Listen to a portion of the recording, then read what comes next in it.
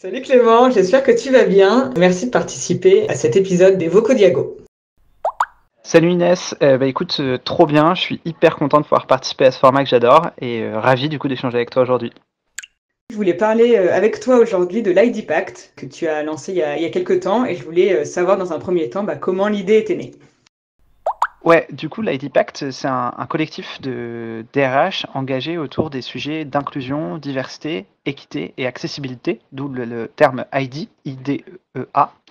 Euh, et comment est-ce que c'est né? En fait, c'est né tout simplement parce qu'on était un, groupe de RH, DRH euh, qui, se retrouvaient et où on a décidé de partager ensemble des bonnes pratiques euh, et euh, des, problématiques rencontrées autour de ces différents sujets.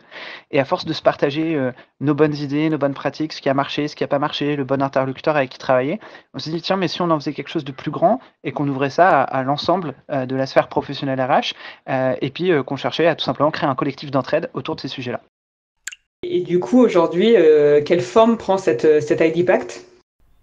Aujourd'hui, l'ID Pact, ça va être un, pacte à signer du coup pour s'engager sur euh, sept engagements hyper concrets. Euh, ça va par exemple de sensibiliser chacun sur l'importance euh, de la diversité, de l'inclusion et des biais, jusqu'à construire un système de rémunération équitable ou créer un parcours de recrutement non, discriminant.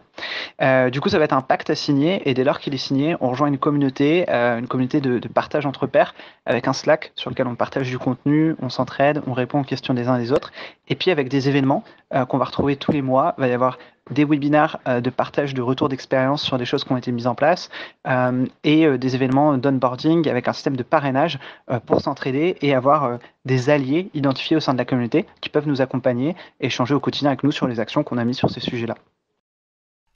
Et du coup, aujourd'hui, vous avez combien de signataires et puis surtout quelles sont les prochaines étapes que vous imaginez? Euh, aujourd'hui, on a plus d'une cinquantaine de signataires. On a du coup ces webinaires toutes les deux semaines de, retour d'expérience entre membres.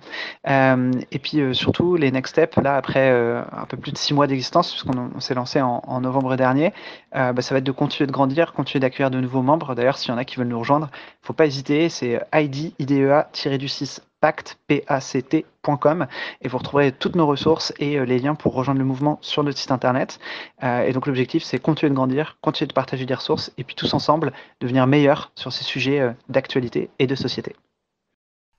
Merci beaucoup Clément pour ton temps et je te souhaite plein de succès avec l'ID Pact et beaucoup de nouveaux signataires. À bientôt.